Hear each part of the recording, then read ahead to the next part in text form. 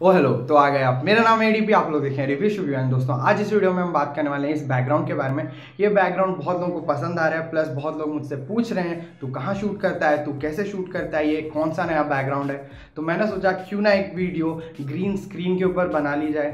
तो दोस्तों, आज हम बात करने वाले हैं ग्रीन स्क्रीन के बारे में। ग्रीन स्क्रीन के बारे में। एंड दोस्तों, आप प्लीज़ ये वीडियो एंड तक देखना, क्योंकि एंड में अगर आप लोग ग्रीन स्क्रीन यूज़ करना चाहते हो तो मैं कुछ टिप्स एंड ट्रिक्स बताऊँगा जिसको यूज़ करते हुए आप जो है ग्रीन स्क्रीन का जो इफ़ेक्ट है, उसको ईजिली अप्लाई कर सकते हो अपने वीडियोज़ में। तो दोस्तों, बिना किसी देरी के चलिए गुरु, करते हैं शुरू।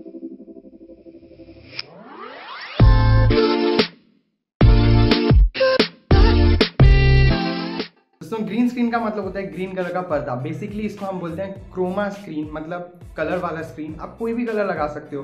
Blue red white purple anything you want लेकिन ग्रीन स्क्रीन ही मोस्टली यूज़ होता है, कह सकते हो वाइडली यूज़ होता है फ़िल्म मेकिंग में या फिर मूवी इंडस्ट्रीज़ में। वो इसलिए दोस्तों, क्योंकि जो ग्रीन कलर है वो काफ़ी ईजिली डिटेक्ट कर पाता है कैमरा का सेंसर और हमारे जो एडिटिंग टूल्स होते हैं लैपटॉप्स में या कंप्यूटर्स में।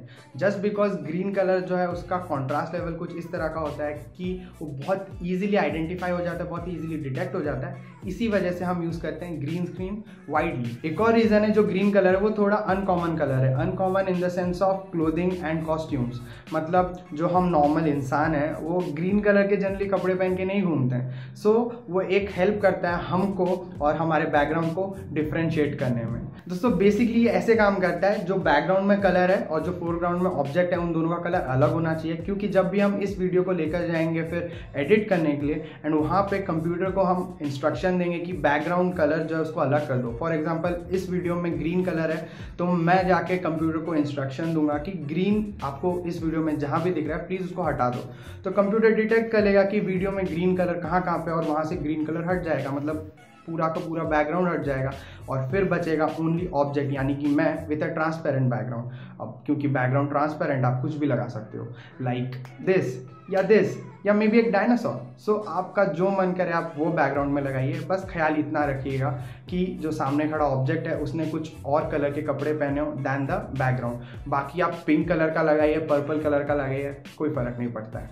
दोस्तों मैं आशा करता हूँ आप लोग समझ गए होंगे कि ग्रीन स्क्रीन कैसे काम करता है। जो आप में से आगे फर्दर यूज़ करना चाहते हैं ग्रीन स्क्रीन को उनके लिए जो टिप है एंड जो ट्रिक है वो ये कि ट्राई करना। आपके पीछे का जो क्रोमा स्क्रीन है वो कम्प्लीटली फ्लैट रहे।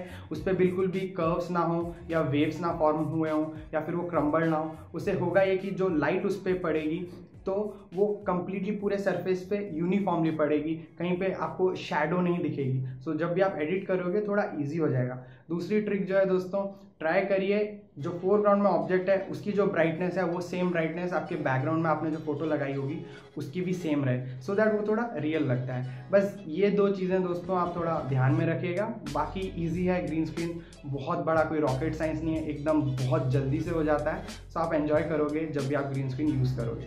दोस्तों, मैं आशा करता हूँ आपको वीडियो इंटरेस्टिंग लगी होगी और शायद आपके कुछ काम भी आ जाए। तो दोस्तों प्लीज़ लाइक ज़रूर करें शेयर ज़रूर करें। और अगर आपने अभी तक चैनल को सब्सक्राइब नहीं किया या फिर आप नए हैं तो प्लीज़ दोस्तों सब्सक्राइब ज़रूर करें, क्योंकि मैं ऐसे ही इंटरेस्टिंग वीडियोज़ और कंटेंट लेकर आता रहता हूँ। तो मैं आपको मिलता हूँ नेक्स्ट वीडियो में। अंटिल देन सायोनारा फिर मिलेंगे दोबारा।